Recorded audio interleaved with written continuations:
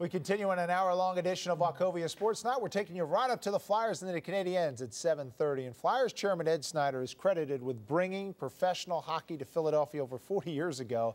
And he hasn't stopped spreading his love for the sport since. That's right. As part of his Ed Snider Youth Hockey Foundation, Snider sent a handful of aspiring hockey players north of the border for an experience of a lifetime. As you'll find out in part two of our series, Northern Exposure, before they reached their final destination, there were a few stops to be made. It was a complete adventure.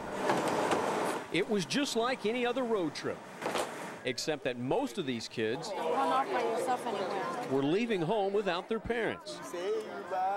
You don't know who's going to be there scouting you for the NHL. The trip was a reward, made possible by a man most of these kids had never met. I had no idea who it was. I didn't even recognize him. At first, I actually did not even know until somebody came over and told me, look, that's Ed Snider.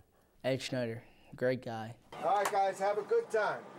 When they all got on that bus and they took off, uh, you know, it just was the culmination of a lot of hard work and effort for the last couple of years with the Youth Hockey Foundation. As we drove up outside of Philadelphia, as we drove up closer up the Pennsylvania Turnpike and we saw some mountains, uh, this was a new experience for the kids. A new experience and a six-hour drive. It was pretty long. The drive was boring. The first stop on the trip. We stopped at Buffalo. Whoa!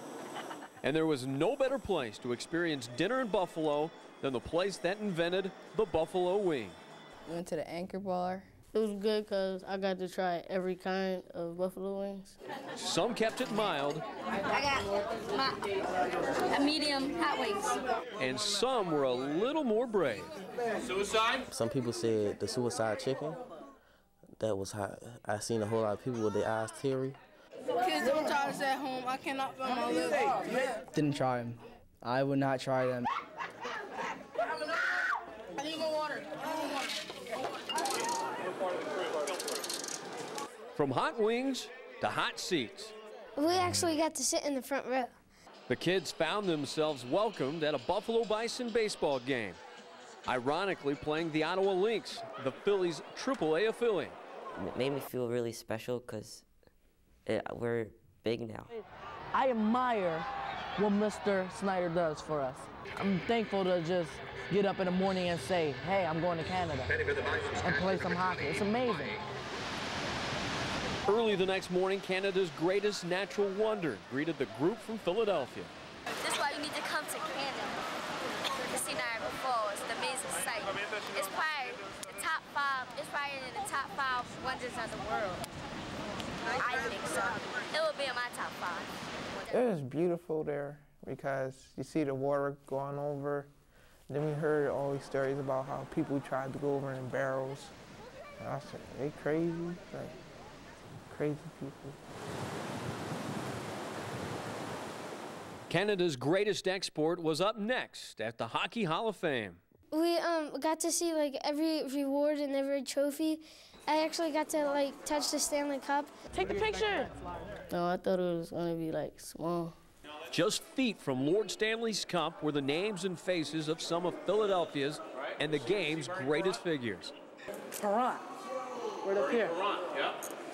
Now you've met Bernie Parent. Yes, I did. And here's Mr. Snider. Pretty cool, huh? As was the name of the man and the reason the kids were there. Him giving us 40 years of hockey now, 41, he deserves it. He deserves to have that his plaque in the Hall of Fame. Seeing his face in the Hall of Fame is really cool. They enjoyed it, that's for sure. And some of them sent me pictures of me at the Hall of Fame, so I thought that was cute. History soon gave way to play as the kids found themselves downstairs trying out their hockey skills. But they found the currency they needed to play a little confusing.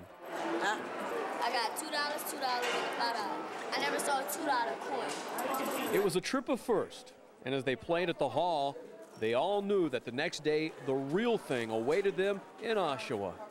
Each part of the, the, the trip, there was a new adventure, there was a new experience, something that was beyond what, what previously had been their experience.